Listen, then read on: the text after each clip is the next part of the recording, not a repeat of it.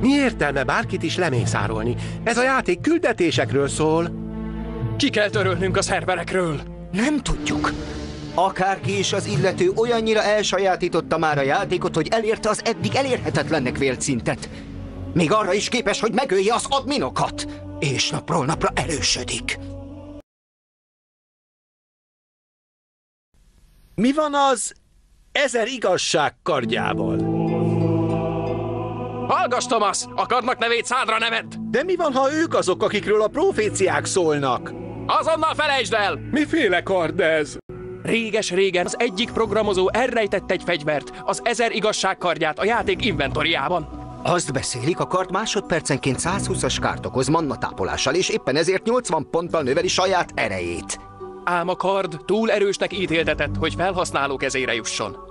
Így hát kivettük a játékból, és egy 1 gigás flash meghajtóra mentettük.